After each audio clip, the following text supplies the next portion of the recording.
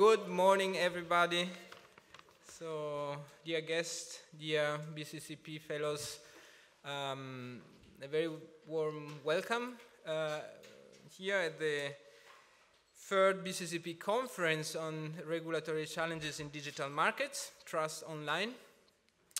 For the first, third year in a row, we decided to dedicate our uh, big event uh, to um, issues related to digitization uh, that is uh, dominating the public discussion, the policy discussion, uh, with this uh, incredible transformative potential, the great benefits that it brings, but also um, big unresolved challenges.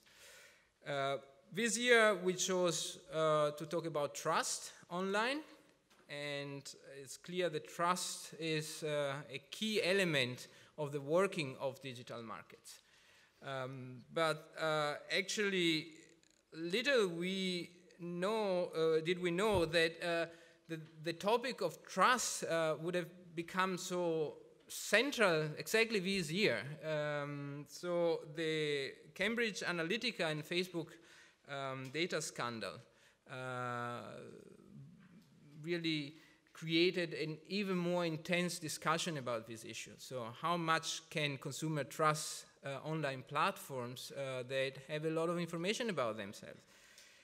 And, uh, and this is not only in the general discussion. So this case also triggers some uh, formal investigations um, into the uh, illicit, illicit, harvesting of personal information.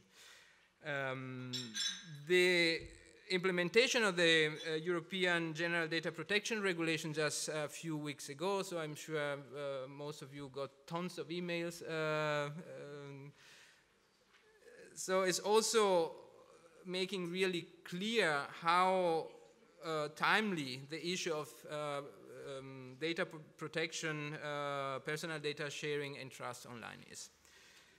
Yet, uh, trust online is not only that, it's, uh, it's more. Um, so, consumers are not only required to uh, share some of the highly personal data to use some goods and services, and often without really um, being fully aware of what they share, uh, but they also need to uh, process large amounts of information that uh, are, are, often very difficult to verify. Uh, so to ensure the reliability of the information in these digital markets uh, and also uh, the safety of the data that consumer provide to platform, uh, it's very important to have a very well designed legal and regulatory framework and also very active enforcement. Um, so more fundamentally, consumer, uh, consumers have to trust uh, all players in digital markets, from the providers of the good to the platforms to the other people they uh, interact uh, online. Um, and then the question arises, so how do we reach this level of trust? Uh, and review and recommendation systems are one uh, uh, example. they have been designed to establish and facilitate trust in commercial transaction. Um, on the policy side, we have this uh, regulation, so privacy and data protection regulation, that should strengthen uh, the faith of consumer that they are safe they can do this transaction, they can share their data uh, online. So, and this is exactly what we want to uh, address during this conference. Um, so this question of the interplay between consumer information and, uh, and trust online. Um, so we will ask a different question in the three sessions uh, with different set of uh, panelists. Um, so in the first session, we will uh, go more on the policy side and, and look at so um, what is the role of consumer trust uh, in uh, for the success of a very uh, ambitious uh, project, which is the digital single market, and how much actually the new European General Data Protection Regulation can help to reach this goal. Uh, then we will look at so what are rule and mechanisms that can effectively facilitate consumer trust, uh, and also how can online marketplace be designed to allow both firms and uh, consumer to benefit from this enormous potential of digital markets. So I think that uh, I was asked before, I think this conference is the best example of what the Berlin Center for Consumer Policies uh, aims to be. Uh, we want to be a platform where a diverse um, um, group of the smartest and uh, most uh, distinguished expert academics, policymakers come together talk about issues that are really relevant for today's society so that we have this transfer between what we know from our research and what is relevant for, for policy. Uh, and it's not a coincidence that we chose to, to do this conference here. So here is the Leibniz Association. The Leibniz Association is our main um, general sponsor. They supported the birth of BCCP, and we truly hope that they will support the continuation of BCCP for the next four years. Um, so it's a pleasure for us, uh, but also our liability to be here and to show uh, this association uh, how relevant and topical the issues on our research agenda are, and also uh, the extreme, extraordinary quality of the discussions that uh, BCCP is trying to um, to move. So uh, before I, I, conclude, so uh, small remark. So we are streamlining. Uh, um, we are streaming the uh, the conference online. So it's uh, uh, it's a duty if you do a conference on digitization. I think so, but maybe somebody of you doesn't want to be stream line, uh, streamed or um, filmed. So if you don't want, then please sit on the back. The, the cameras are looking uh, uh, to the front. And, uh, and then I use uh, my spot now to thank the people who really uh, made this event possible. First of all, Hannes. so the, the guest got many emails, so Hannes never gave up. if somebody said, oh, we, we don't know if we can make, so he was really uh, making this possible. And clearly, the, the fantastic team. Uh, so there are many people. Some are sitting on the back there doing the Twitter. Uh, some are outside. Uh, they prepare the booklet, the brochure. They organize the buffet, and all these things are also very important for the success of the conference. So thank you very, very much uh, to the entire team. And now it's time to start. So again, uh, a warm welcome. Uh, we hope you will enjoy this uh, uh, exceptional event for us, and um, so have fun today.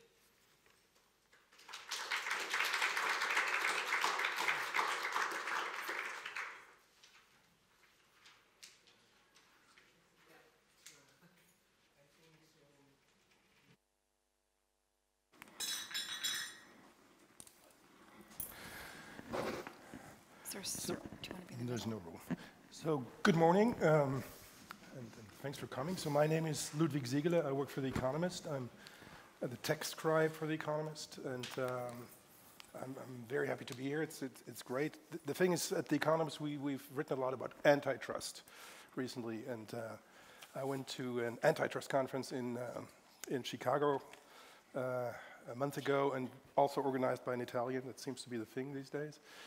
Um, and, uh, but what, what was interesting is that uh, a, a, lot of the discussions wasn't about antitrust, it was about trust.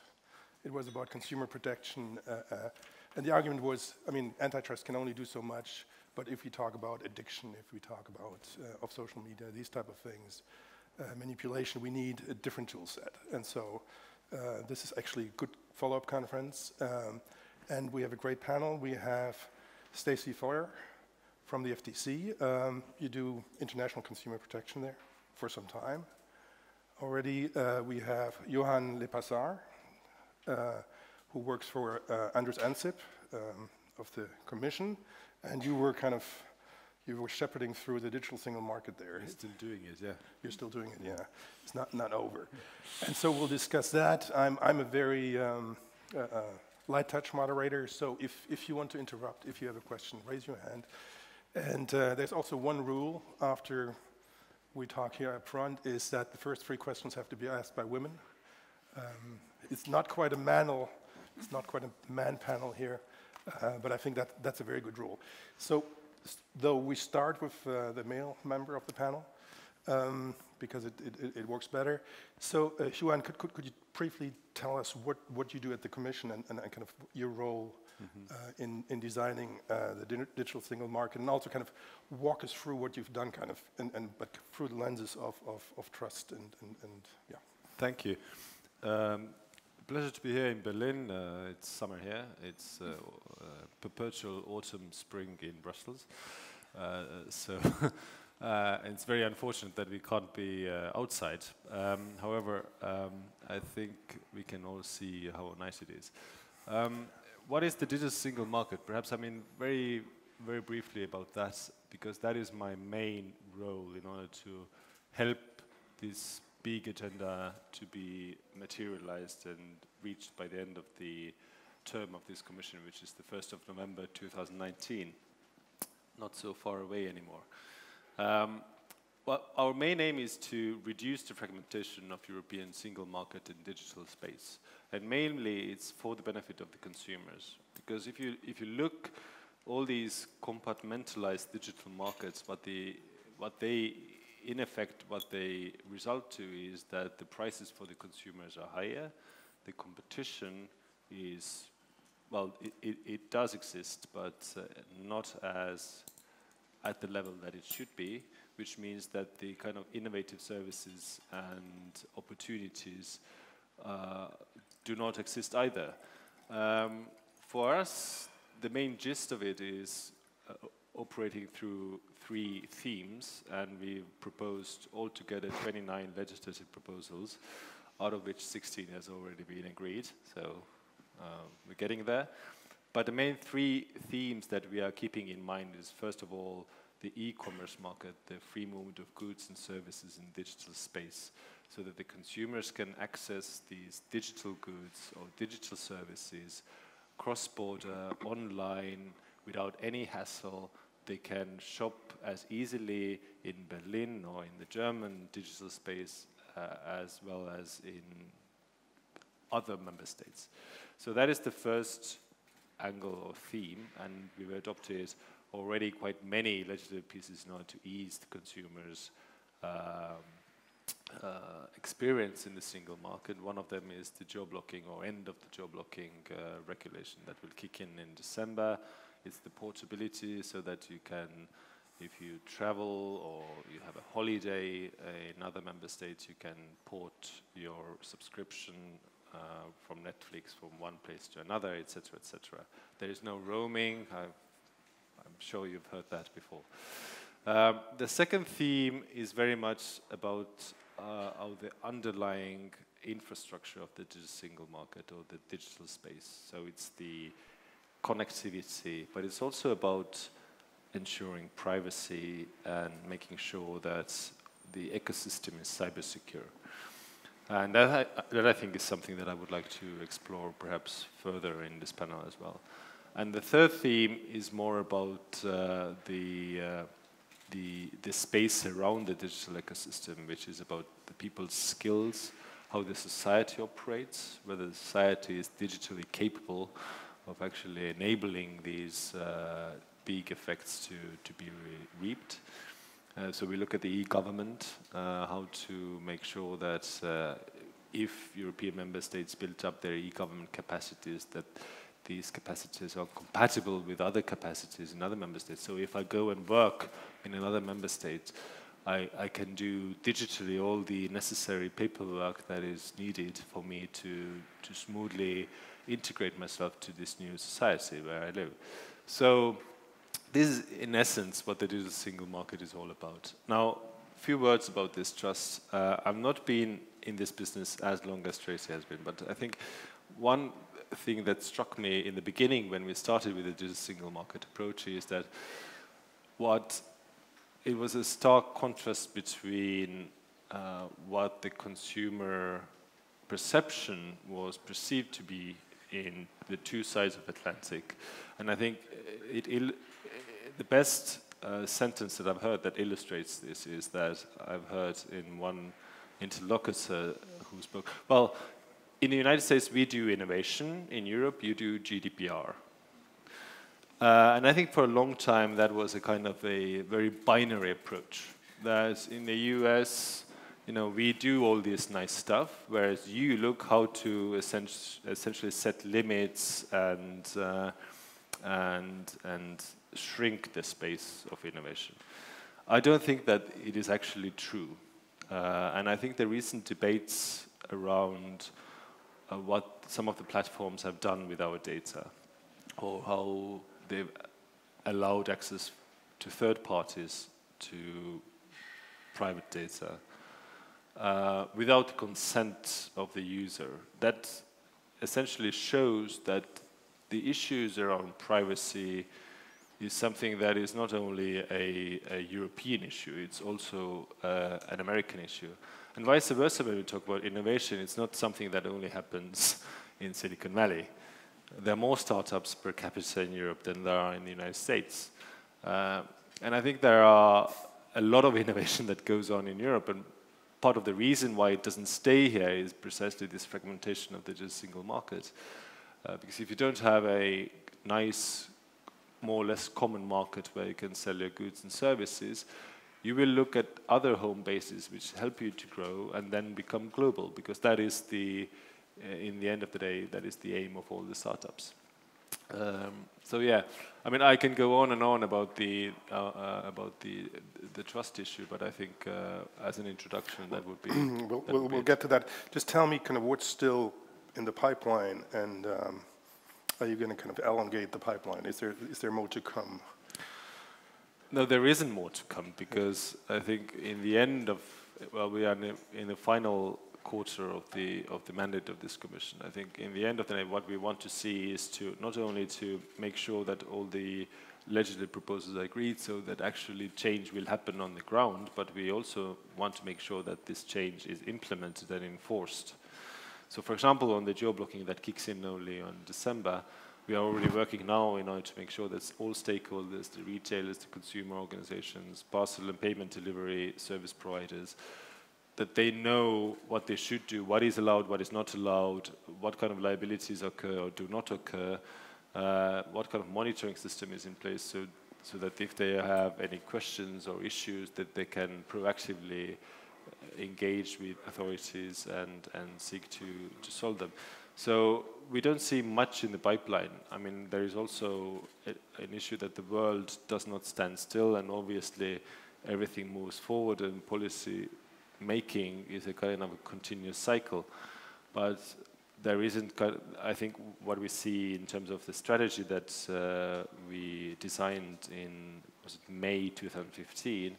We've delivered all the necessary actions, and now it's really our job to make sure that uh, these uh, these will be implemented and enforced on the ground as well. Now, Brussels, of course, is a place where I mean, it's it's. Um, difficult to get things done. But I mean, could you could you? Is it? Yes. I don't know. I am surprised how easy actually it is. wrong way of putting yeah. it, but I mean, you, you, you have to cut compromises, yeah. deals, all that. So, is it, is there anything you think should have been done which hasn't been done?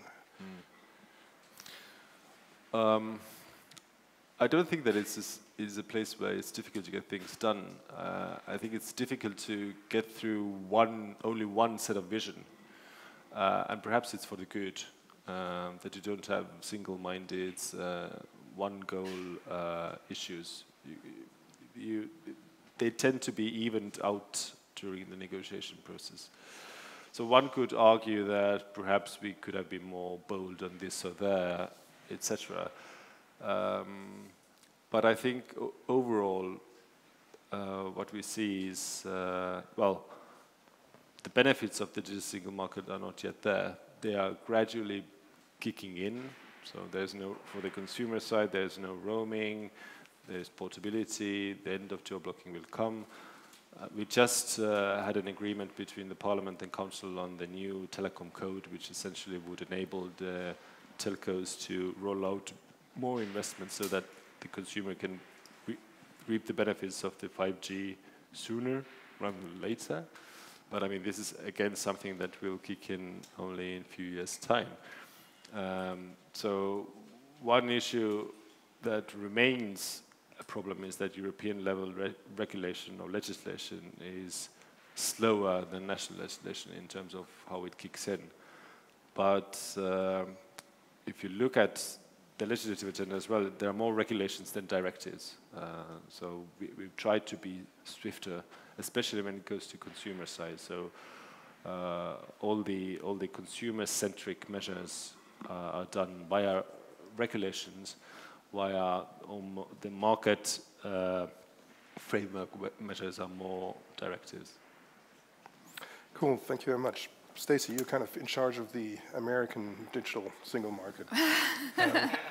Well, that's a tall order. Um, well, maybe I'll pick up sort of where Johannes started. And um, before I do, let me just explain who I am and what the FTC is. So, for those of you who don't know, the FTC, the US Federal Trade Commission, is an independent federal agency that has responsibility for enforcing a wide range of consumer, competition, and privacy laws across the United States, and we have jurisdiction in most but not all parts of the economy.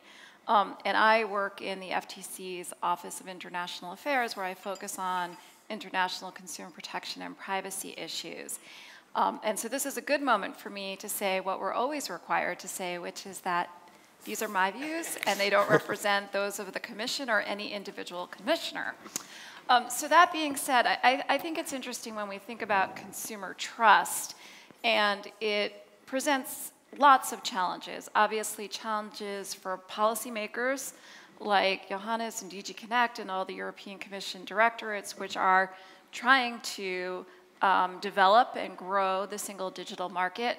It presents challenges for businesses who are trying to roll out new products and convince all of us to accept things like um, smart refrigerators, smart watches, and smart cars. I, I, do want a smart car. I'm just, you know, a little scared, but I would like not to have to drive. Um, and of course, it um, presents challenges for enforcers like at my agency, where we are trying to implement and enforce a wide variety of truth in advertising, privacy, and other laws and principles. So um, I thought I would start by stepping back and talking about the question I think that almost never really gets answered, which is what is consumer trust? What are the drivers? What are, what are we talking about when we talk about consumer trust? And um, then give some examples of, of how I see it playing out um, through, through the vantage point of my work at the FTC. So um, consumer trust is often talked about as if it's something that is one-dimensional, something that is fixed, freestanding, and permanent. And I, I think it's trickier than that. Um, consumer trust is multidimensional, Consumer trust is relational, consumer trust is experiential, and consumer trust is variable. So what do I mean by that? Well, first of all, on the sort of idea of multidimensional, there are all the traditional indicia of consumer trust. So, you know, there's the usual sort of price and value and convenience, but there are things like quality customer service and even, I would dare say, things like risk tolerance. Um, but then, of course, there are whole areas in the digital economy that are new. How a company treats consumer data is something that was somewhat relevant beforehand, but now is top of mind, obviously. So talking about these different factors, relational, when I say relational, I mean, what are you comparing consumer trust in the digital economy to? So are you comparing it to conventional markets and traditional alternatives? And I do a lot of work um, in the Consumer Policy Committee at the OECD, and they did a fascinating study last year on consumer trust in what they call peer platform marketplaces, what the rest of us call the sharing economy or the collaborative economy. And interestingly, one out of three consumers trusted the specific platform that they were asked about more than conventional businesses in the same market. And it was really striking. This was a study of, uh, I think, 1,000 consumers each in 10 countries. And in some countries, and, and Germany was one where consumers had more trust in conventional businesses, so maybe Germany's doing something right there. But in countries like Mexico and Turkey, for example, consumers trusted ride sharing companies like Uber far more than they tr trusted their traditional alternatives, the taxi cabs. So, relational, what are you comparing things to? Experiential, Th this is context. What are the consumer's priors? What are the consumer's um, direct experiences themselves personally and within their household, among their peers. And then variable. And variability is, I, am thinking of a concept that relates not to just how consumer attitudes change over time, but to variables like age, right? Where you really get very, very different um, answers to questions about trust when you look at millennial consumers and when you look at consumers like me who are over 50, um, my daughter and my son, my kids who are teenagers, and my husband and I have a great disconnect in our household or, over what we should actually trust. So I want to give three examples, and you'll stop me if I'm going on way too long, um, of how this plays out. Um, and the three examples are social media marketing, particularly influencer marketing, which is an area the FTC has done a lot of work on. Second is the area of payment protections and payment security. And then third, of course, privacy, which with the GDPR coming into force is top of mind for all of us. So um, one example of the complexity of consumer trust issues is social media marketing. As consumers have lost trust in governments, businesses, the media, all sorts of large institutions, they more and more turn to their peers for, for opinions, for reviews. And we see that in the large number of consumers who do rely on online reviews to get information. We also see it in this phenomenon of influencer marketing, where consumers, and, and I have to say this actually feels really strange to me, um, they rely on influencers who they find to be more authentic, with whom they feel that they have a virtual personal connection, right? Even though they don't know them, they only know them through their online curated presence. So um, it, it, that, that's a really in interesting phenomenon. But how does that relate to sort of the thesis about trust? Well, um, on the relational point, um, you know, it's interesting because what are they comparing this to? Well, they're comparing their trusted influencers to the kinds of direct media marketing messages that they've gotten all along and they've decided lack credibility for whatever reason. They're also interestingly comparing it to typical endorser advertising, so celebrity advertising, right? They trust influencers more than they trust celebrities who are hawking a product. And why is that? It's because they perceive that the celebrity is getting paid for his or her endorsement, but they think that the influencer isn't. And that is sort of where um, where we find that very interesting because, of course, um, most influencers are in fact being compensated in some way, either monetarily or through in kind products and trips and vacations. So I'll, I'll talk about that in a minute. Um, and then uh, also just to highlight the variable, um, uh, the variable aspect here one of the things when you look at consumer trusted influencer advertising is this, is this phenomenon I mentioned a few minutes ago, um, which is consumers who are under, I think, the age of 25 have a huge amount of trusted influencers, and consumers who are older are more skeptical. Now, the rub in all of this, and where I think the policy solutions come in, and, and certainly for us, the enforcement solutions, is really in traditional consumer protection laws. One, one thing that's emerging, and the studies are starting to show based on reports about some followers maybe not really having as many followers as they purport to have, about people buying bots to serve as followers, is that consumers are starting to understand that maybe influencing influencer marketing is not as um, authentic as, as they, they believe. And according to a review of the evidence that was in eMarketer a few months ago, that while there's some evidence that disclosure of, a of an influencer's uh, commercial relationship with a brand will lower um, some consumer interactions, at least initially, at the end of the day, consumers really do appreciate transparency and honesty from marketers and influencers. So here, what we would say at the FTC is that this is really no different than the truth in advertising laws and our endorsement guides, which have always required the disclosure of um, material connections between an endorser and a brand.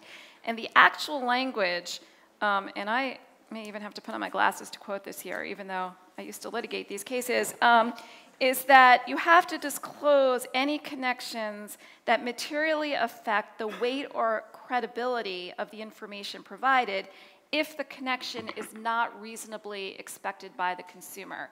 And so I think that's a really um, interesting to point to think about when we talk about consumer trust, and I'll talk about this in the privacy area as well, as reasonable expectations. What consumers expect out of the world really influences what they ultimately, what the trust equation ultimately is for them.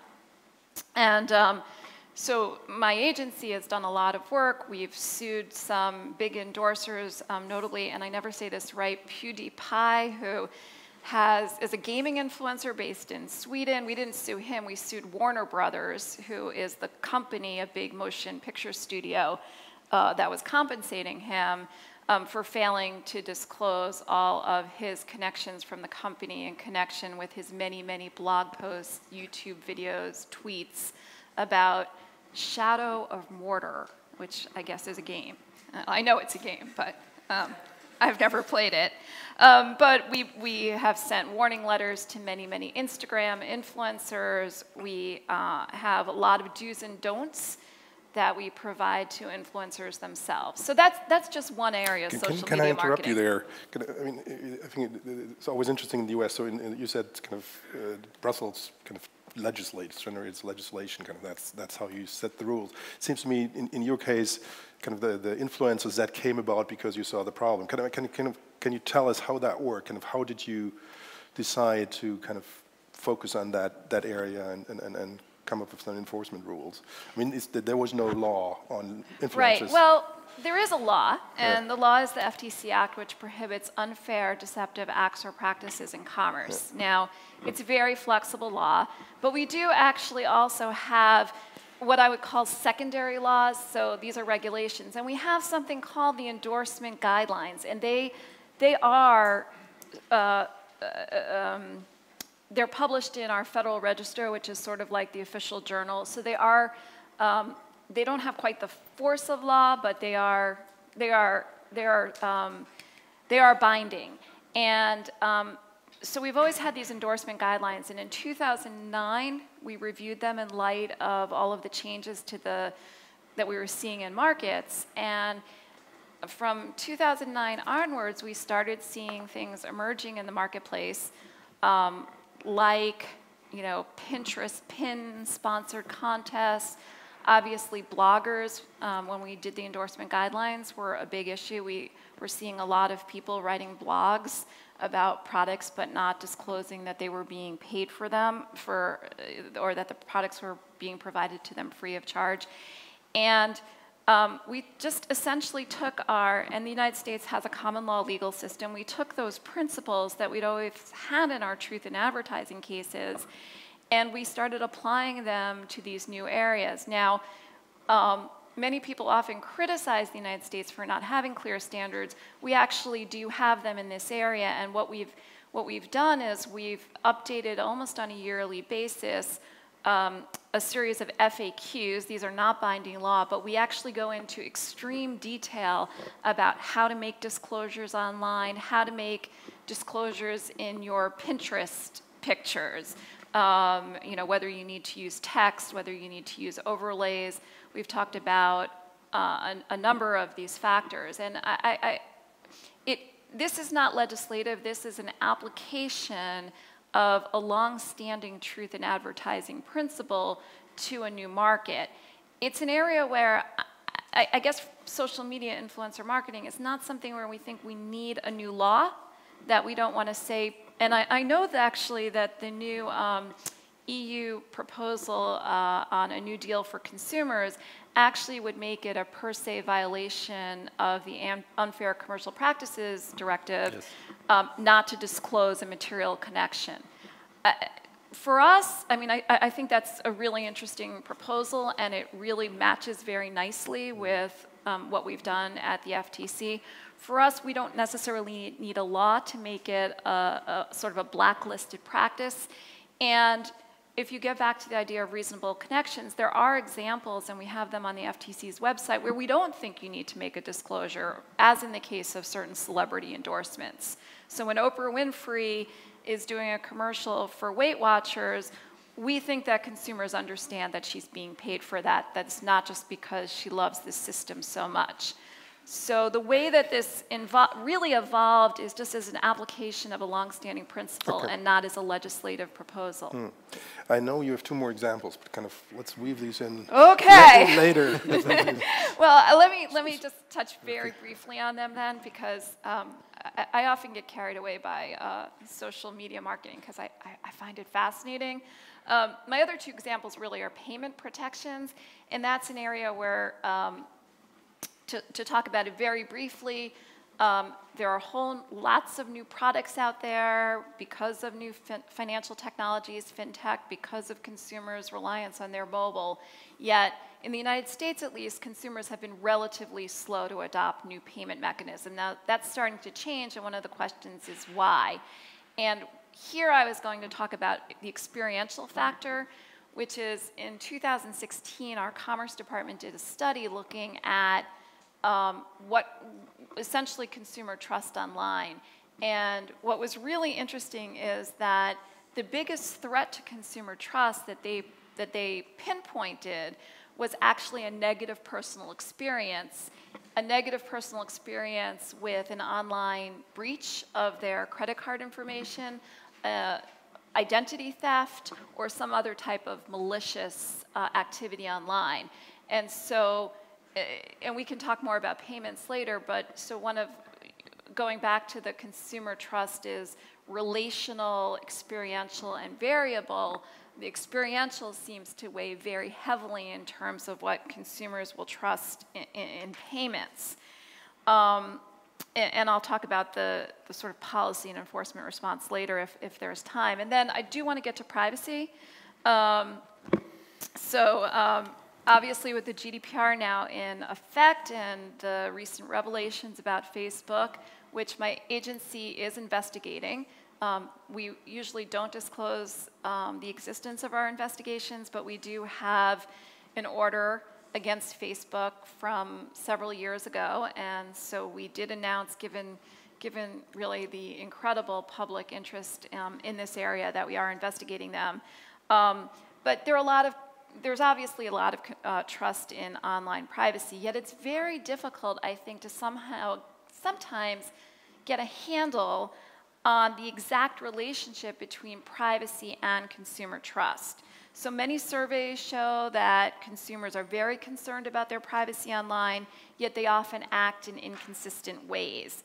They reveal extremely personal information for very little in the way of monetary incentives. Um, Often they reveal personal information just to draw the attention of a peer online. Now, many people have called this inconsistency the privacy paradox. But there are some um, studies emerging that are showing that maybe there's not as much of an inconsistency as we think. And what I, um, and, and we'll hear later from a colleague from, from the Harvard Business School, but I, there was a very interesting survey earlier this year that um, essentially looked at how consumers' norms about their privacy offline correspond to their behavior online. And the bottom line of the study is it showed that when their information was being shared in a way that they expect, they were okay with it, so first party marketing. But when their information was being collected and shared about them in a way that they did not understand or wouldn't trust in the offline context. So if you told something to a friend in confidence and you didn't know that the friend was going to go tell it to somebody else, consumers didn't trust that. And so it, to me, it really showed that when businesses use their data in hidden, unexpected, and undisclosed ways, consumers lose trust in the digital market. And that's, that's the thread there. And I can talk about how that relates to the FTC's approach to privacy, but I'll stop here given that I've been talking a lot. Thanks, Stacy. I mean, uh, let, let, me take a step back and, and, and be a bit contrarian. So we had Cambridge Analytica, we had that Cambridge Analytica, and we had that problem. So consumers realized there's a problem, they have to be more careful. And so Facebook will adapt. Um, it has already adapted, it has changed its privacy policies, no longer gives uh, apps that, that type of access they had. So what's the problem? I mean, it, it's, it's a self-regulating system. And I mean, I mean, I'm putting my Silicon Valley hat on here, but isn't, isn't, aren't things working the way they're supposed to work? Why do we need um, uh, the many regulations of the digital single market? I understand the harmonization aspect, that, that is fine, but it, it, it seems to me it's a new medium, 20 years, I mean, or Facebook, 2007, it, it, it went mainstream. Uh, it'll, it'll solve itself. And actually, we don't know whether Facebook will be that important in five or, or 10 years. Yeah, I, I, I, mean, I think that there's some validity to that argument. Um, certainly, we've seen many industries develop and change and mature over time. I, I would say from our perspective, though, one of the things about privacy and one of the things about data is that a lot of what goes on is hidden to the consumer. So, for example, the FTC did a report, well, we've done a lot of reports, but we did a report on data brokers, we did a report on cross device tracking, trying to get a handle on what's going on. And a lot of what happens is not transparent to the consumer. So, if it's not transparent to the consumer, then it's going to be very, very hard for the market either to self correct or for there to be the impetus for robust self-regulation by companies. Now, I'm not saying that self-regulation is bad. I think, in fact, it is part of the toolkit for protecting consumers, together with good laws and good enforcement. But um, there aren't going to be the incentives if we just say um, to allow the, the markets to self-correct in that way because there's just too much that is hidden and out of the public eye.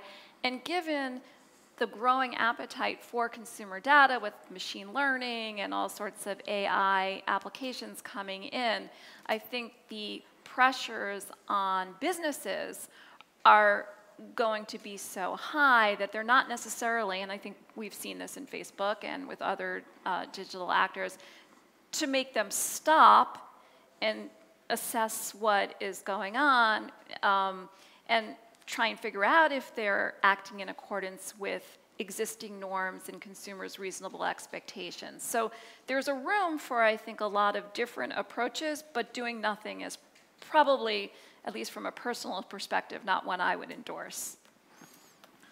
Just to comment on this, I think it was a very uh, useful uh, overview of the of the different, uh, let's say, uh, high fly or key issues that are out there. And I think one of the major commonalities which I see on the on both sides of the transatlantic is how to ensure that the market, the digital market in particular, operates in a transparent way, and also how to avoid lock-ins. I think, and the and the and the two approaches might be different. I think the the US has taken more of an enforcement approach, partly because they have the uh, ability to do so because they have a federal agency like the FTC.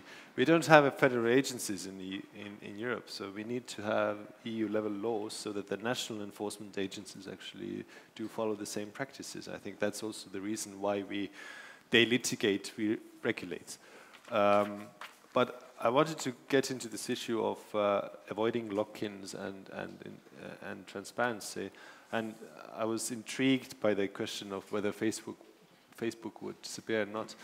One of the major emerging issues which I see in the digital marketplace is authentication.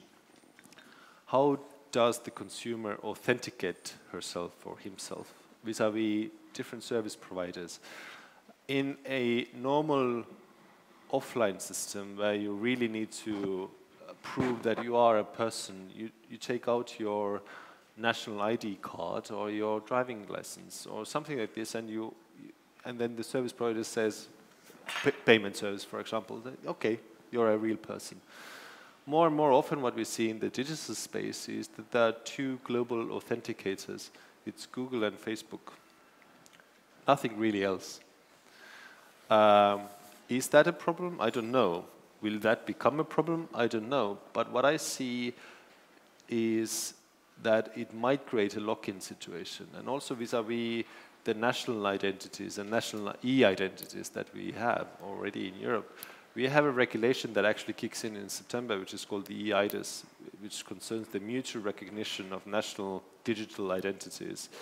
So that if I use my Estonian digital identity and sign something, the Portuguese system knows that this signature is valid, that this person is authenticated.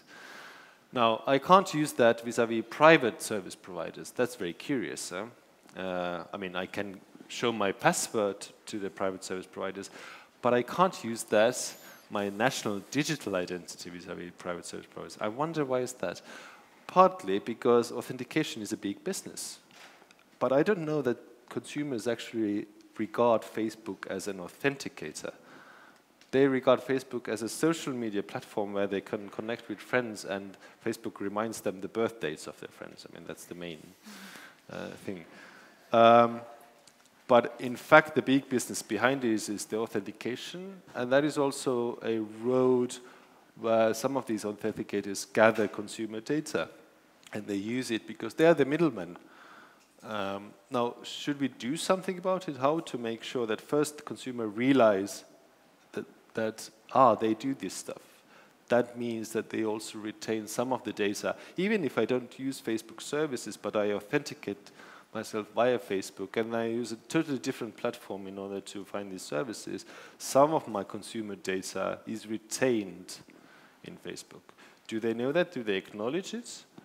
Um, that's the first problem. The second issue for me is really the issue of, you know, how to make sure that we don't create lock-ins so that if we have other authentication means that there's, there's a kind of a federated system of uh, authenticators that cross-use this, that I don't need to just use one or two, but I have multiple options as a consumer in order to go and, and seek out services. And I think that is a, a, a important question, not only vis-a-vis -vis, you know, how to make sure that in the digital world everybody knows I'm a real person, but it's also an issue of how to avoid lock-ins, how to how to make sure that uh, my data is used in a transparent way.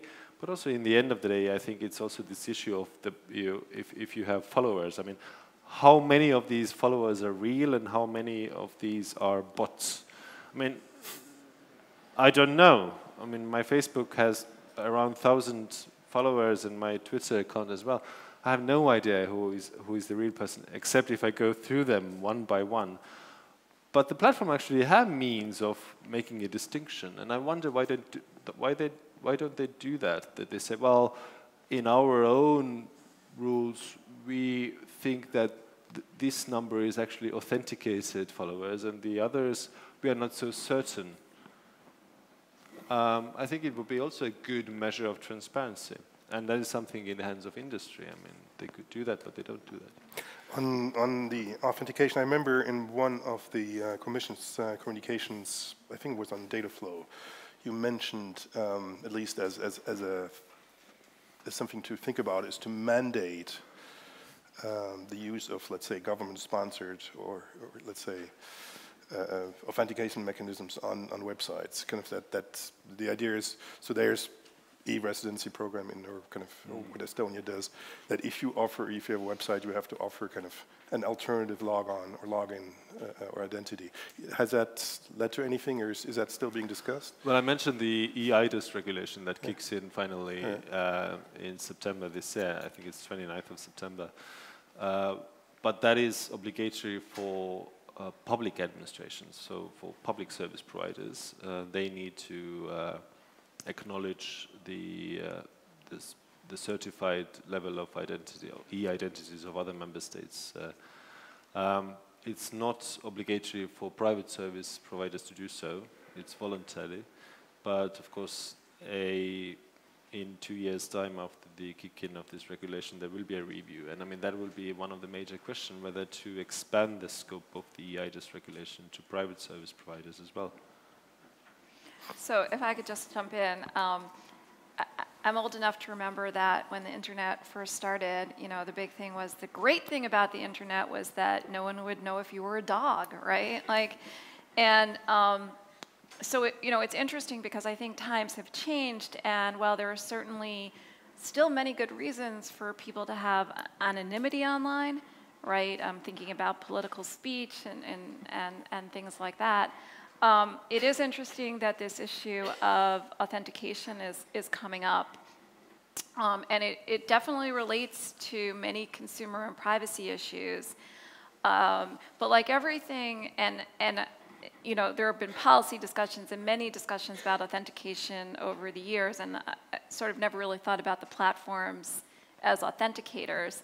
Um, but, um, you know, I, I, I, guess I guess thinking about it for the for the first time, you know, is that is that do we need better solutions? I mean, do we really want to have the platforms essentially performing this very important authentication rule? Is that ceding too much power? Is it creating lock-in issues? And, and when you start talking about lock-in, I know one of the discussions about the GDPR coming in, right, is whether it in fact is going to um, increase the, um, the lock-in effects for some of the big tech companies which can comply and have already built, um, you know, thinking about, for example, Google, which already had its Google Takeout tool before GDPR and then just ramped it up in time for GDPR. And smaller companies that deal with data maybe don't have the same ability to comply with GDPR. So the lock-in and authentication issues, um, to me, are are particularly interesting, but they're not necessarily consumer-facing issues. And I think one of the things that we see at the FTC, getting back to consumer trust, is um, consumers really base their trust on things that they can perceive, that they can touch, that they can see.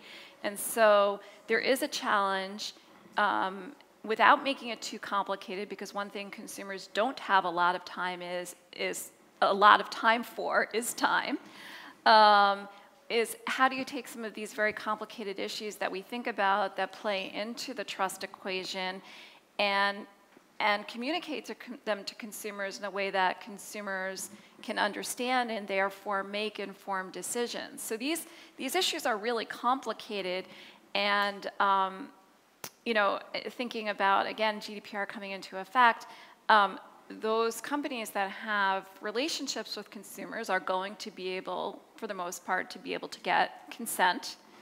Um, yet there are lots of companies, and you know whether this is good or bad, we'll see, um, who don't have that relationship with the consumer, and are going to find it a lot more difficult. Again, for good or for worse. So. Going back to, to sort of the factors that I started out with consumer trust being relational, experiential, and variable, on the experiential factor, um, that's where I see a lot of the policy discussions maybe not matching up with what consumers are actually experiencing in the moment. I mean, since, since you um, mentioned GDPR, I mean, uh, remember when GDPR was passed two years ago, uh, 2016 or something, I mean, in, in the US, it was seen as kind of yeah, yet another kind of bureaucratic night, nightmare coming, coming from Brussels.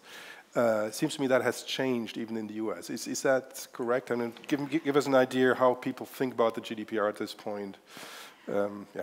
Well, you know, it's hard to know what consumers really think about GDPR. So, so first and foremost, GDPR is not a US regulation. It does apply to many US companies who are doing business with Europe, uh, um, uh, European consumers, so it's not a law that the FTC obviously enforces. Um, from our perspective, um, we have some concerns about GDPR.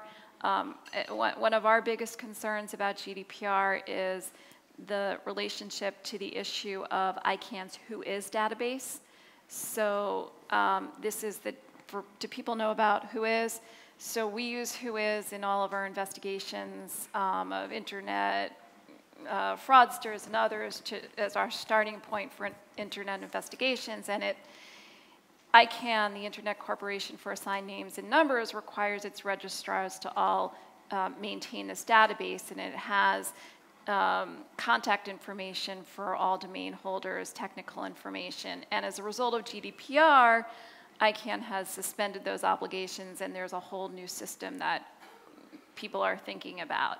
So we have we have some concerns that GDPR will have some unintended effects on making information that we think should be publicly available available.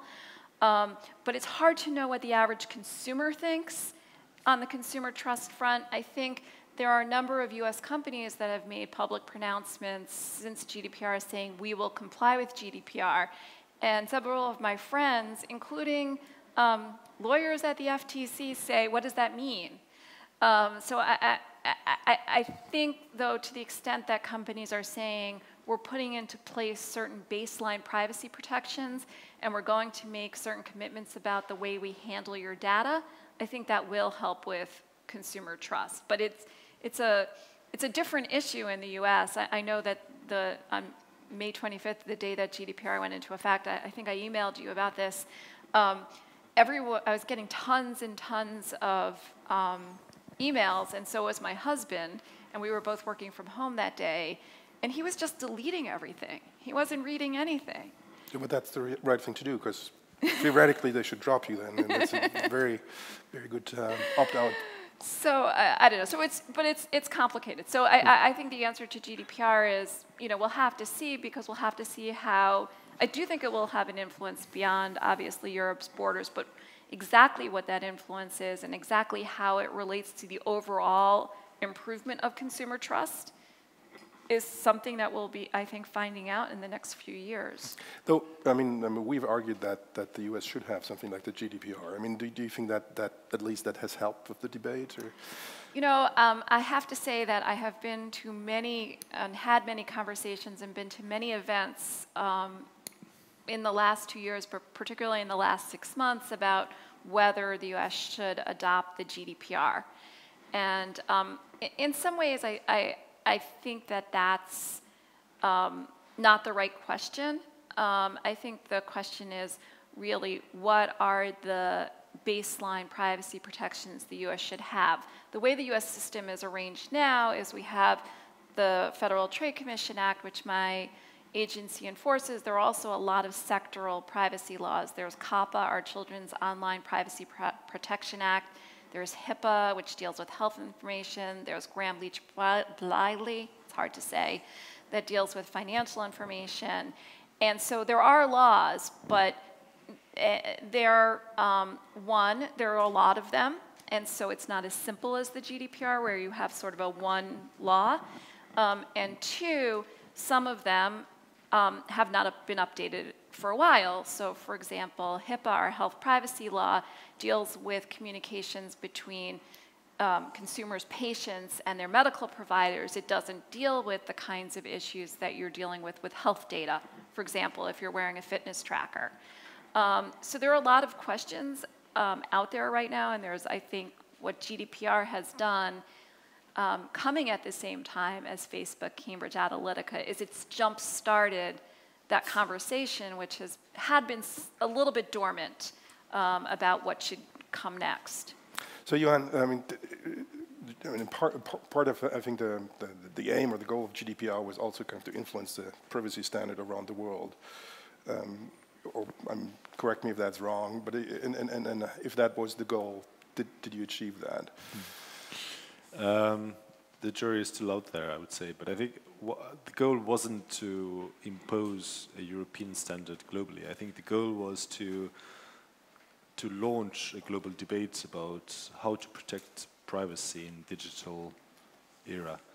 And what we've seen is that not only as a result of different revelations of how people's data have been used, but also there have been different debates in different parts of the globe, and there, whether they've been more judicial, etc. I know that the the, uh, the High Court in India has adopted a recent judgment saying that privacy is also a, one of the main values which should be protected under the Indian constitution. That was a new interpretation of a, current existing constitution, the same kind of developments we've seen in South Korea, for example. So it's not a European issue, it's not only American issue, it's, it's a global issue and it's tackled in different ways. And I think where Europe was a bit of ahead of others was that this debate just started and was ignited here before.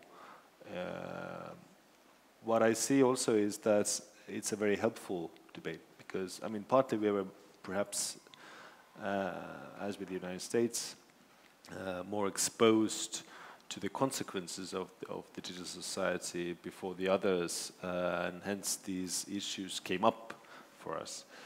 Um, but I think it's helpful in order to find the right balance uh, in in terms of uh, um, what what do we want from from from the digital platforms? What do we want from the interlocutors that have emerged?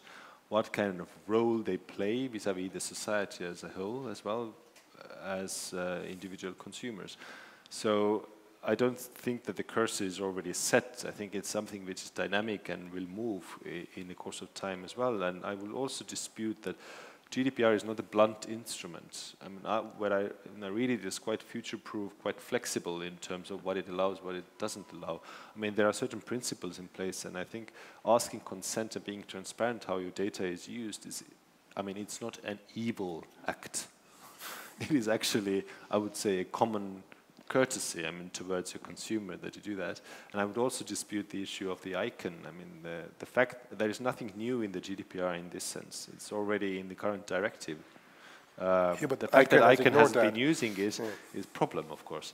Um, uh, and the only reason they're now interested because we have these uh, uh fines uh, fines in place. Um, perhaps it's a good thing that they now paid attention, but uh, there's nothing in GDPR that forbids ICANN of doing what it does. It's just a question of how to then be transparent vis-a-vis -vis the, uh, uh, not the users, but the owners of the portals, etc. Um, I would also like to just to clarify one point. I'm not on the authentication issue. I'm not advocating abolishing of anonymity in internet. I, no, I think you have a very good point, Stacy, saying that it's it's an issue of freedom of expression, free speech, etc. Uh, but it, there are differences if Google knows that I'm a white 40-year-old male with nine-year-old daughter, or the whole internet knows it. So I think, I mean, what, what I'm advocating is that we look at this interaction of the authenticators and whether what kind of information they receive and how they receive it and whether they have multiple options of authenticating myself or or uh, or whether there there is uh, something that we can do there. Um, on the on back to the cursor issue and the, and the GDPR, again, I mean, for example, now we have uh, another, which we call a sister act of GDPR, is the privacy regulation on the table. And what the aim of the e-privacy regulation is, is to ensure confidentiality of communication in digital space. So uh, GDPR says, you know, private data should be private, unless you give your informed consent that you're okay with using this private data for different purposes. Um, what we look is how to ensure confidentiality. Um, and currently I think there is a problem because we have imposed the confidentiality requirements for the telecom operators. So if you're sending a text, you can be assured, at least in Europe, that the text message is confidential. Nobody can text and data mine your text messages, and then, well, even if you know, it's for good purpose of offering you nice services, but they have to ask your consent for it. Uh, even they actually can't do that right now. In the future, we see that if there is a proper consent mechanism, they could offer you services on this basis. But if you're writing a WhatsApp message, that's not in principle confidential because it's outside of the current regime. So we want to change that. And of course, there are a lot of debates around these issues, you know, how to ensure confidentiality not only of the, of the message, but also the device and the metadata around this message. Some claim that the metadata is not actually confidential. So what is the metadata? It's the location where the message was sent. Uh, Uh, yeah, I mean, I'm sending messages from now, so probably that's not really a confidential information because it's a public event. But if uh, I'm doing it in a different context, it might be problematic for me if I don't know that this kind of information is then used. What some service providers claim is that uh, they can process this data on the basis of legitimate interest, which means that they don't need to ask you every single time whether they can use the metadata or not. That is akin to a kind of a situation in the offline world where you're having a private conversation with your doctor and the manager of the hospital listens in, but you don't know that it listens in.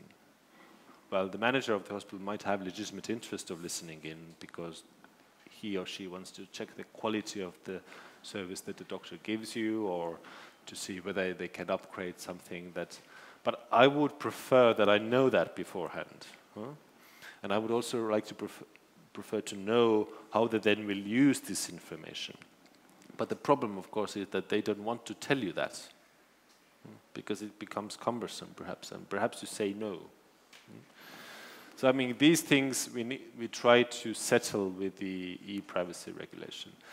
Um, so, and then we talk about we talked about transparency vis-a-vis -vis consumers, but also vis-a-vis -vis small and medium-sized enterprises and, and platforms. What are the relationship there? I think there are a lot of issues where we are still looking at where the right place of the cursor is at this moment in time. That doesn't mean that in the future that it would not be moved this or that way. So I see that as a very useful debate. Uh, I mean, GDPR sets certain um, uh, pillars in Europe, uh, and it will have effects global effects for the service provider that operate in Europe, obviously. But it's not a debate which is kind of uh, uh, that we have grabbed ourselves. I think the debates in, in the States and also in India and elsewhere uh, will affect uh, the overall outcome in the end of the day as well. On, on, on e privacy, which is of course um, uh, probably even more controversial than, than GDPR, um, I don't know, is it? that's, what, that's what I hear. Um, at least I get lobbied a lot yeah. on that. Uh, so I mean, but but uh, what Stacy said. So there's a tension, I think, between trust and antitrust. So uh, a lot of, for example, what the GDPR ones, or I think e e privacy even more so, um, uh, probably risks uh, entrenching uh, the dominance of, of certain online firms and makes life more difficult for uh, potential competitors. I, I, just interested in how, how, you see that and kind of, uh, I think GDPR makes some allowances for smaller companies, but there's then exceptions to exceptions. Uh, but aren't you worried that in the end, yes, we're protecting uh, consumers' privacy, but we're also protecting uh, Facebook's monopoly? Uh, that's a trick question. I don't think that uh, protecting consumers' privacy means protecting Facebook's monopoly. No, I think privacy by design is something that everybody should acknowledge as a kind of ideal situation where we want to end up with, uh, be either than a small player or a big player. Um, I think it's not up to us to to decide what kind of service providers there should exist.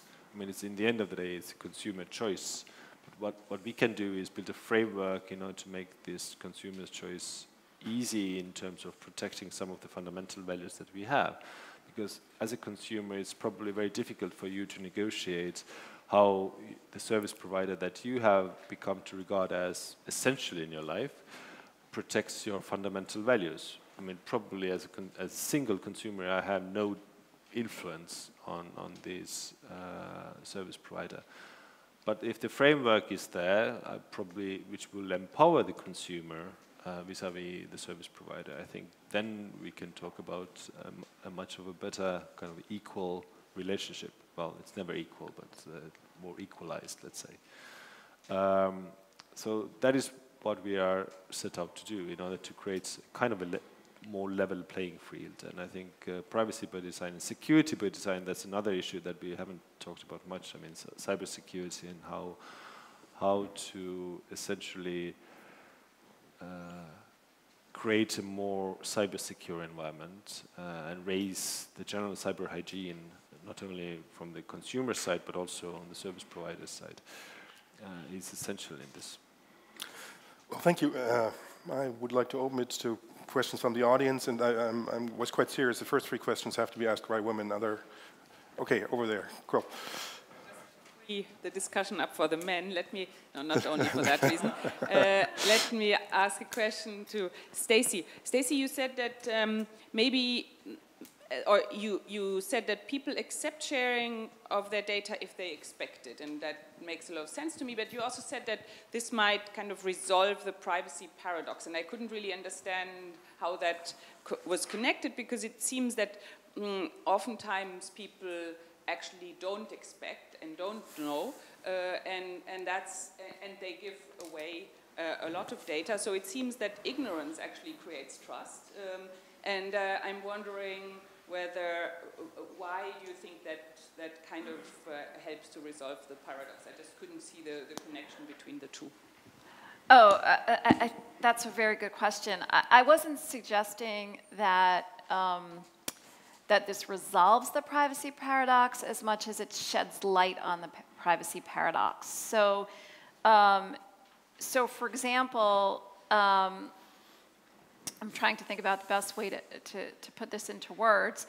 Um, what I, what I, what I, what I was suggesting is that reasonable expectations and consumer trust, like that's, that's sort of the connective tissue. But I was also suggesting that, and um, consumers' reasonable expectations are defined in part by their offline norms, and so these information cascades. Now, as you point out, and I think that this is right, what consumers don't know is part of the equation.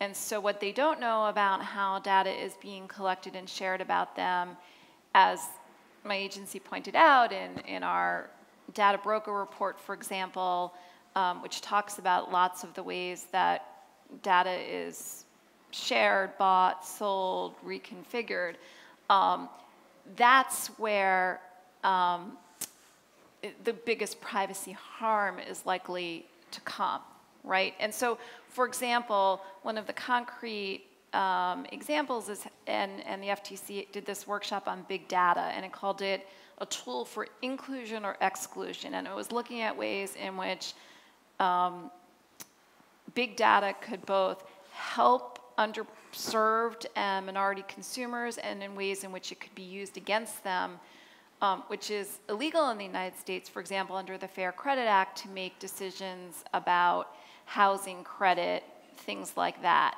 So it's not so much that it resolves the paradox as much as it explains some consumer behavior. Consumer behavior is based on what they perceive.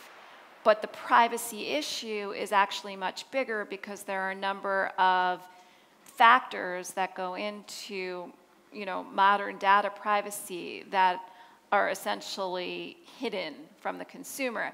And consumers don't like the things that are hidden from them. Thank you. Questions? Don't be shy.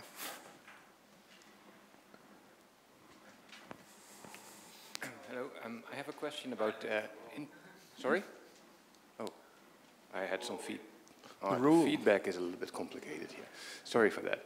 Um, I have a question about the interaction of, of data and competition. Yeah, when you have Amazon company, the Amazon collects all the data yeah, and becomes a monopolist on data. Yeah, how this affects competition, and this is connected with trust because I think competition is an indirect way for consumers uh, to yeah, to have trust in the, in the system. Are there any thoughts uh, within the European Commission or the Federal Trade Commission about the connection between the two? And that's my question. Yeah.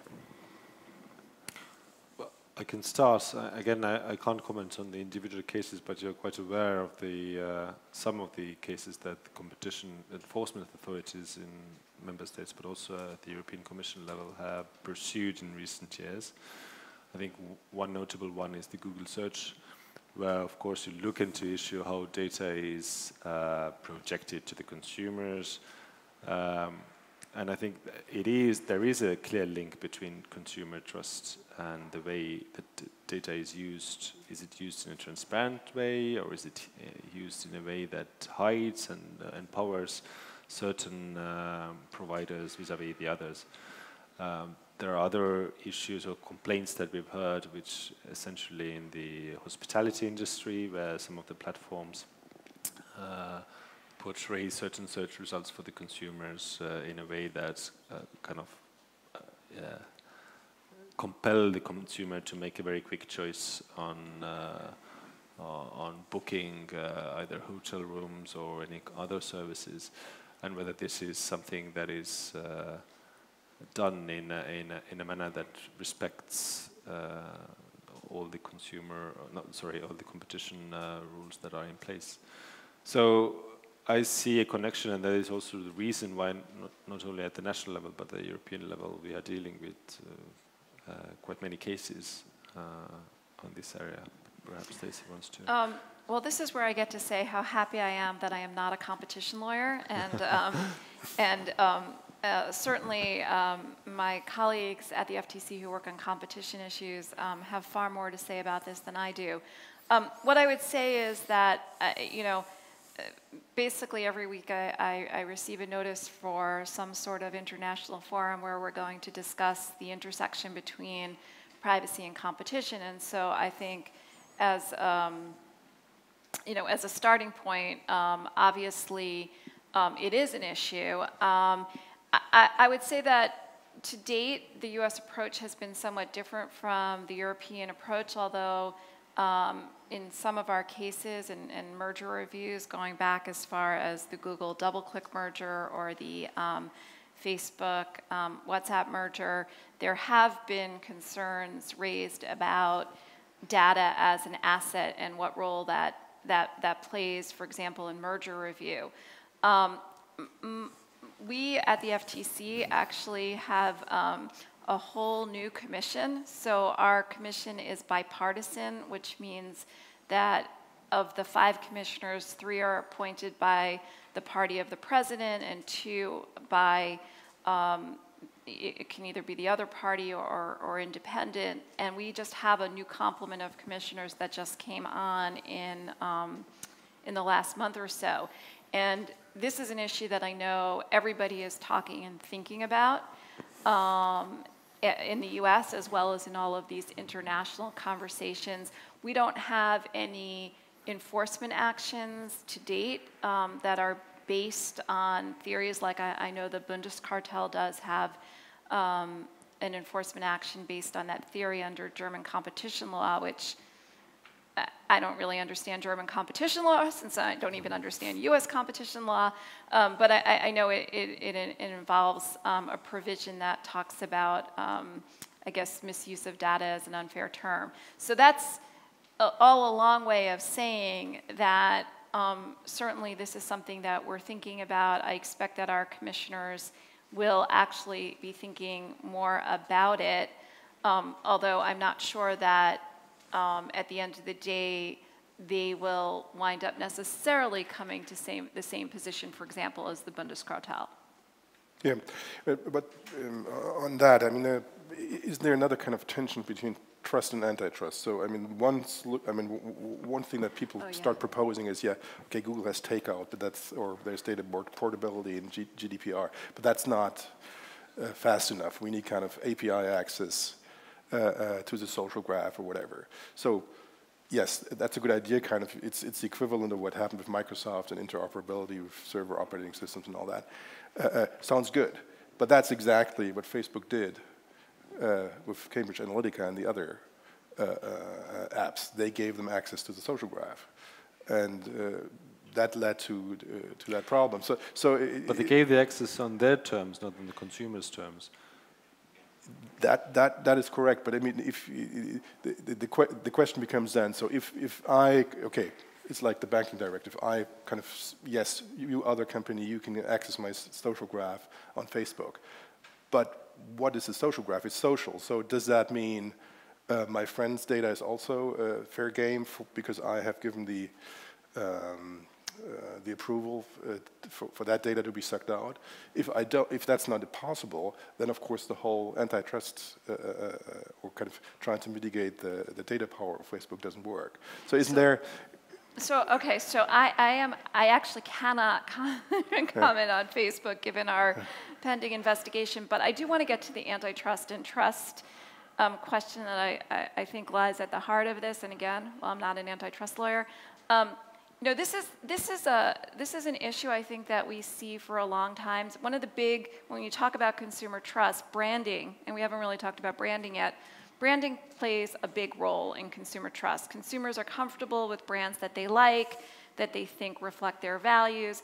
In the OECD study I mentioned, um, the OECD Consumer Policy Committee just did, it was really, really interesting to see how much trust consumers put into certain platforms, right? And, and here I'm talking about sharing economy platforms. Um, and so, for example, they put a lot of trust into platforms like Airbnb, right? And even trusting them with their data far more than they would trust Facebook with their data. But there's always been a tension between consumer preferences and consumers really trusting a specific brand, and I think some of the goals of competition law. And the, the best example I always give of this is that at Dulles International Airport, just outside of Washington, D.C., there is literally a monopoly of taxi cabs. There is one company that is allowed to operate there. They're called Washington Flyer. And I actually love them.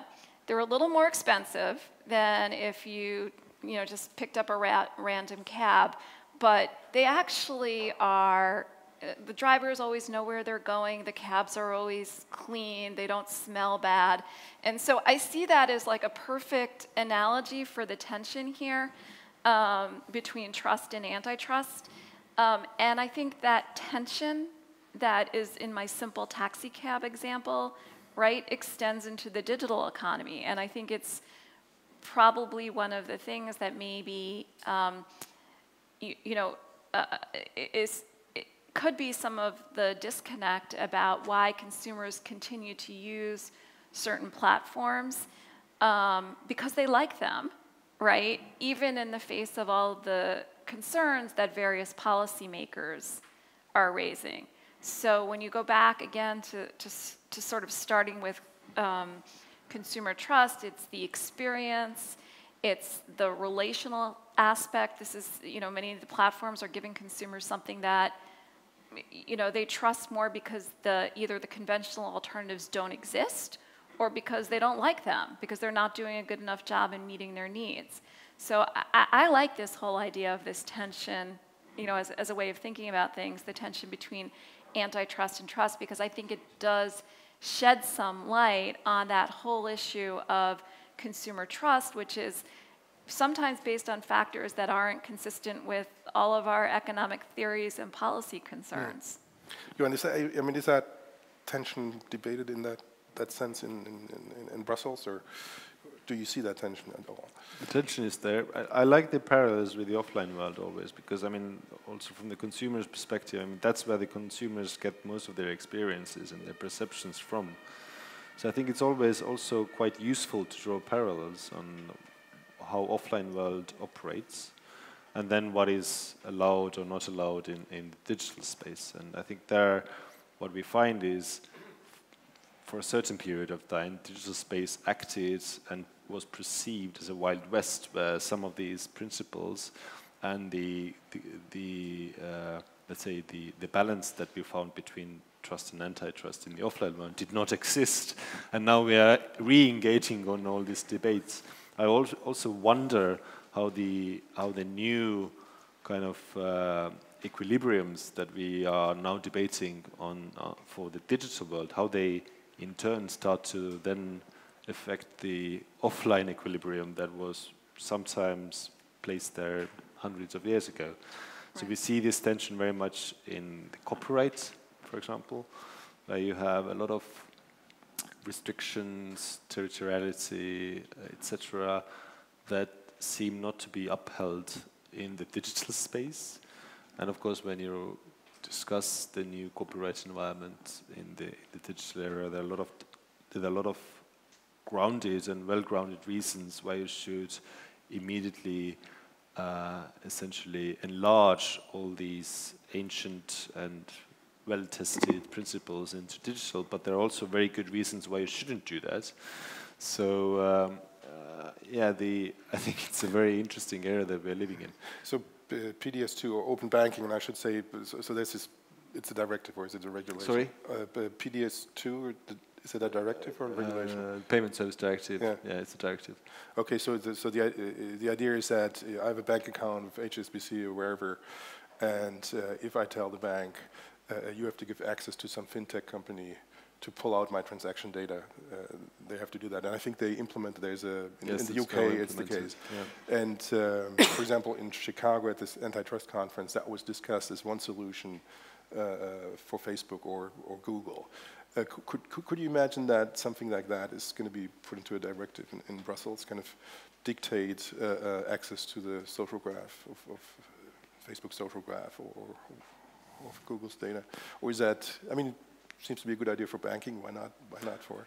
Um, I'm not dealing with fintech directly, but I mean uh, that was it's used as a good example uh, because that allows new service providers to operate in a market that has been historically very heavily regulated for good reasons. I mean there are uh, anti-money laundering directives in place and, and, and rules in order to make sure that we all pay, pay taxes and authorities have the ability to then check and trace uh, the, the money flows.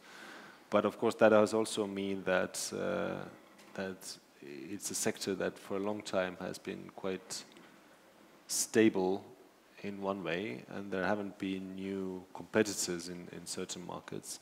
So allowing access and mandating data access is something that uh, actually might work. And uh, in spring, we we just put on the table a new directive on the Public Service Information Directive that would look at the ways how we could open up data in sectors that, that are not uh, public per se, but they offer a public service, like transport, for example. Uh, so that uh, new service providers could use this data in order to uh, essentially provide a bit more competition so can I, uh, can I just comment on that from the consumer trust perspective? So um, just thinking through my hat as a consumer protection lawyer, I would say that in that example that you give with the Payment Services Directive and in the FinTech area, consumers really want two things in terms of um, their financial data. They want it to be secure, they don't want it to leak all over the place online, and they want limitations of liability, right? And that, again, as with many of these issues, I think that's where sort of basic consumer protections, right, come in.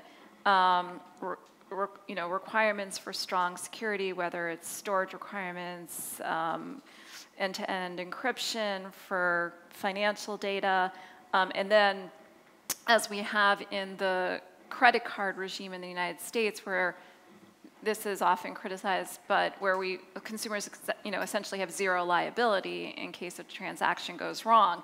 You can see that if consumers' basic concerns, what they perceive as threats to their finances, um, are taken care of, then they might be more amenable to having their banking data shared with fintech startups. So looking at it from the consumer trust lens is a little bit different, I think, than looking at the overall policy lens, right, about the development of the market. I mean, exactly on this point. So that is the tension, right? So on the one hand, from competition, uh, from the competition policy perspective, you want to share this data. You want to give access to small companies to this information that can be uh, a barrier to entry in the market. But then from the consumer perspective, then you have the issue of privacy. So maybe as a consumer, you don't want everybody to have access to the data. And then maybe is trust uh, the key. So you have to make clear for the consumers that giving access to their data to other people actually is it is in their own interest, and then there are some rules that uh, make sure that this is not misused, right? So, but there is a clear tension there between competition policy and privacy. I see. But I, I would also argue that I mean that's why the GDPR is such a great tool because allowing access now will not make a difference in terms of applying the GDPR. You still need to apply the GDPR even if you have access. The consumer still needs to be notified. It has to be on his terms or her terms that this access is then affected in the end of the day. So I wouldn't call it attention, provided that you put trust framework in place. Then you can do a lot of this stuff.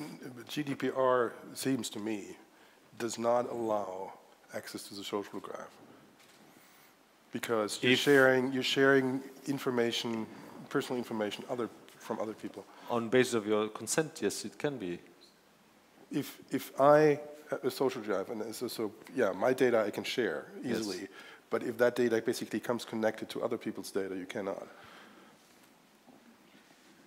depends how yeah, you define yeah, the social graph. Yeah, indeed. So uh, there are limits.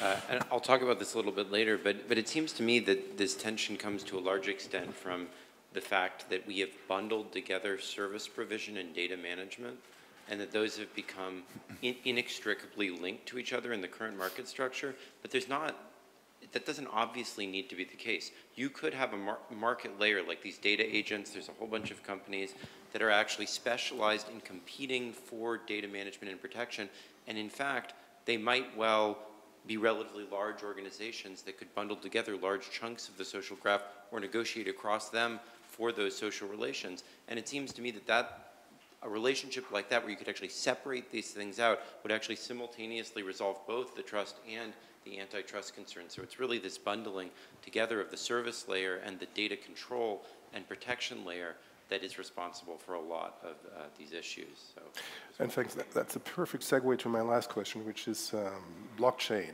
So, so we've called uh, we've called the blockchain the, the trust machine.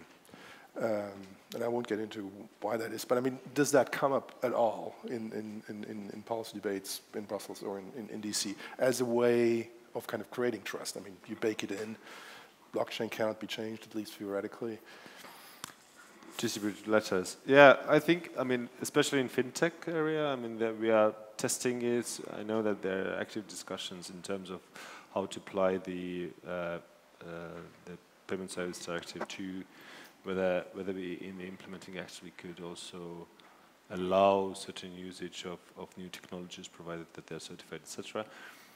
Yes, it does come up. Uh, I think there's still it's it's kind of in a sandbox phase where we are we are seeing different member states experimenting with these technologies in different areas, especially in trust services. Um, it's not only in banking but also in others. Uh, some public authorities do that as well. Uh, I think it's it's an interesting uh, scheme. I'm, I'm I'm not sure that whether it is still right for us to to put regulatory principles in place. I think it's actually a, a, good environment which we have already, which allows to a certain extent to take these new technologies and test them. Um, perhaps the new parliament and the new commission might look into this uh, further.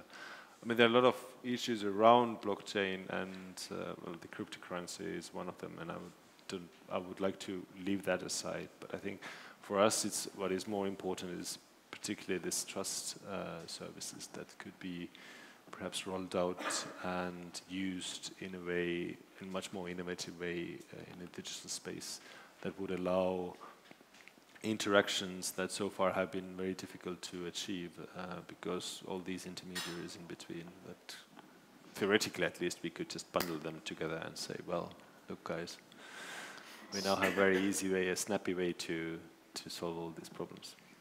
So um, I would say that um, blockchain uh, uh, seems you know, very interesting and very promising in certain areas of consumer trust. I think some of the larger policy issues around blockchain and its uses are not ones that my agency would be particularly involved in from the policy um, perspective, uh, although, you know, again, there's always an interagency group on uh, blockchain that, that will participate in to try and give our input.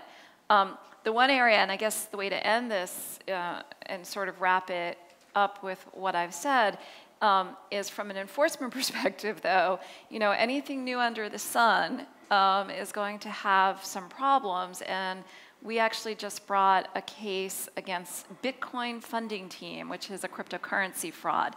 And unfortunately, one of the things we're seeing emerge in, in the US market, um, although Bitcoin is actually Bitcoin Funding Team, this is not Bitcoin, this is uh, um, it actually preyed on consumers in many different countries. But um, you know, for us, consumer trust in, in the market, sometimes you have to go back to basics. And what's particularly interesting to me is that this particular fraud is really just um, sort of an old kind of business opportunity fraud wrapped up in you know a nice pretty digital um, package and a lot of consumers who are otherwise fairly savvy fell for this particular cryptocurrency fraud scheme so I, I guess I would say that going back to the beginning about consumer trust and consumer trust in the digital economy is that um, you have to pay attention to fundamentals, whether it's basic truth in advertising principles, whether it's basic payment protections, um, whether it's basic requirements for transparency and choice and consent and privacy, or basic protections from online frauds.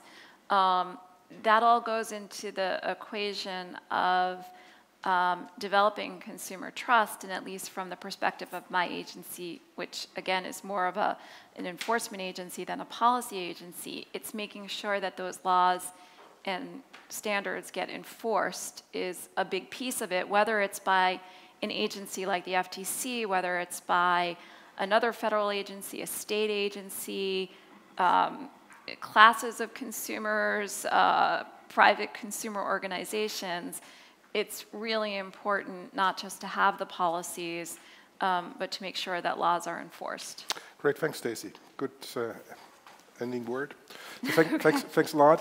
Um, Thank you. Yeah, and thanks to the participants. Thank you for a great conversation.